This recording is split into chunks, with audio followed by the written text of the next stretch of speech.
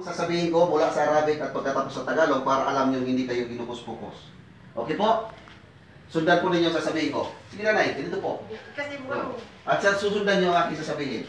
Asyadu, ulitin nyo po. Asyado, an la Allah, ilaha ilaha, illallah. illallah, Wa asyadu wa asyadu, anna anna, Muhammadan Muhammadan, Rasulullah. Wa asyadu anna Isa abduhu abdu, wa rasuluh. Ako'y sumasaksi na walang ibang Diyos na dapat sambahin maliban sa Allah. At ako'y sumasaksi na si Muhammad ay sugo, propita ng Allah.